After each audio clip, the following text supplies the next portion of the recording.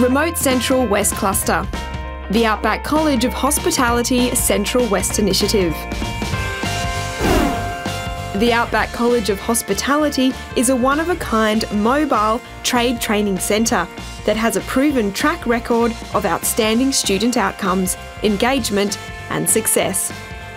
The Mobile College supports senior students to succeed by building connections and partnerships with local Western Queensland communities through the hospitality industry. Since its inception in 2011, the Outback College of Hospitality has continually improved educational training and employment opportunities for senior students, with partnerships being developed across five remote cluster schools spanning more than 500 square kilometres.